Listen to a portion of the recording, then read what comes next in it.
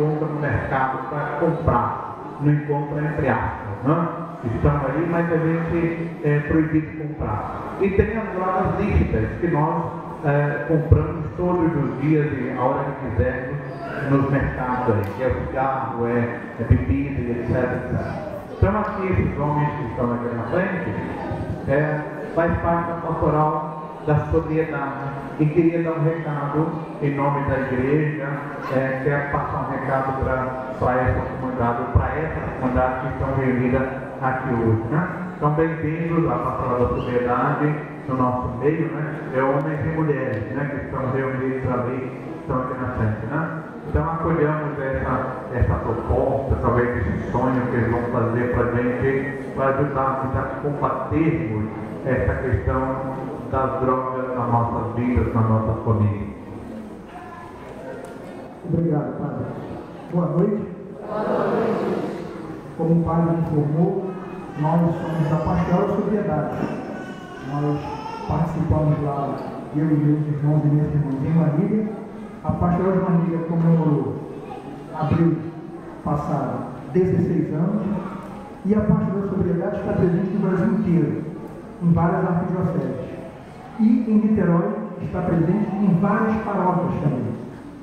A nossa, em breve, também terá sua pastoral. Já estamos trabalhando com o Padre Alberto para criarmos aqui na nossa paróquia também a nossa pastoral. Como o Padre já informou no início, a pastoral trabalha em relação às dependências, e não só químicas, qualquer compulsividade, qualquer excesso, por exemplo, de limpeza, de varrer a casa, de fazer fofoca, de falar mal dos outros, qualquer compulsividade que atrapalhe a nossa vida, a pastoral de sobriedade trabalha no seu grupo de autoajuda para que o irmão, através das reuniões e com a presença do Espírito Santo, aproveitando até o dia de hoje, como o dia da Santíssima Trindade, através do Espírito Santo, em cada reunião acontece um milagre. O milagre acontece na reunião de autoajuda. Em Manilha, as nossas reuniões são sempre às terças-feiras, sete e meia da noite. A pastoral é um organismo da Igreja Católica, mas não impede que outras pessoas de outras religiões possam participar. Ela está de portas abertas para receber pessoas que precisam, que estão com algum tipo de problema, de dependência de qualquer espécie e de qualquer religião pode participar e nós vamos receber de braços abertos.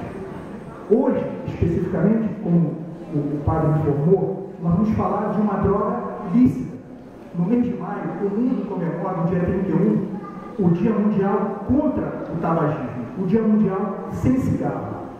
E esse negocinho pequenininho, a gente não tem ideia do dano que isso causa a nós, a nossa, a nossa vida, ao nosso organismo o irmão Idésio preparou um pequeno resumo, só para a gente ter ideia do que, que causa o cigarro na nossa vida.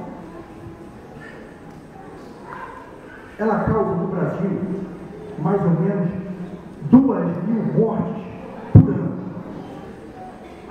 45% por infarto, 85% por bronquite crônica, 90% por câncer no pulmão, 25% por doenças vasculares. E a principal causa disso se chama-se nicotina. Eu já vi uma foto de um pulmão sem nicotina e de um pulmão com nicotina. Quem já viu sabe que é uma coisa horrível. Então, a pastoral vem aqui hoje, na Capela da Sagrada Família, para participar e divulgar essa campanha contra o tabagismo. E por isso que chama nosso irmão Luciano, que vai falar um pouco para nós sobre essa dependência. Boa noite. Meu nome é Luciano, eu sou da paróquia São Francisco de Assis, na do Apolo, né? Sou um agente da Pastoral de Propriedade.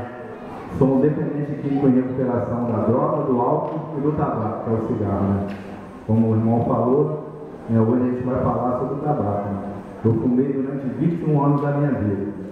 E quando eu resolvi fazer o tratamento é, para cura e libertação da droga e do álcool, também entrou o tabagismo. Né? Graças a Deus vai fazer cinco anos que eu não fumo. é, eu vou partilhar de mim. Como fumante, né, eu era muito egoísta, porque eu falava assim, pô, estou fumando, estou estragando a minha saúde, né, não estou envolvendo ninguém, estou atrapalhando só mim. Mas a gente esquece né, do fumante passivo, a gente esquece do codependente do cigarro, né? São as pessoas que, da nossa família que não fumam e, e infelizmente né, a gente está lá fumando nosso cigarro e ela sai na, na fumaça também. E também a gente esquece que quando a gente adoecer, né, aquela família que tanto nos ama, né, vai sofrer junto com a gente. A gente vai sofrer com a doença e eles vão sofrer ali olhando sem poder fazer nada. Uma dependência que a gente mesmo procurou para destruir a nossa vida. Né? Hoje, graças a Deus, eu vivo uma vida saudável. Né? É, hoje eu posso chegar é, com a minha esposa abraçada, beijar ela sem estar com, com cheiro de cigarro. Né? Eu posso andar é, em alguns lugares que, que pô, eu vou chegar sem, ter, sem estar com fedor do cigarro, né? que hoje em dia todos nós sabemos que o fumante está bem excluído né? na sociedade. Então, é o que eu falo para vocês parar de fumar é uma decisão, uma atitude de coragem. Eu sei que é difícil, durante esses 21 anos eu, eu tentei parar de fumar por três vezes. O máximo que eu consegui foi sete dias. Mas graças a Deus, com muito esforço, muita dedicação, né? Muita coragem, atitude, com a ajuda do Senhor Jesus, eu consegui. E acredito que todo mundo pode conseguir, porque eu não sou melhor do que ninguém. É, isso aí é o recado, e podemos falar mais alguma coisa sobre o poder é, boa noite a todos, meu nome é Paulo. Ser bem breve, como sou problema de cigarro na minha família. Meu pai sempre foi uma pessoa independente. A hora do almoço era a hora que ele queria, tinha filho, não tinha nada, sempre botou dinheiro de casa, sempre autossuficiente. Mas chegou com 59 anos de idade, o cigarro chegou ao limite.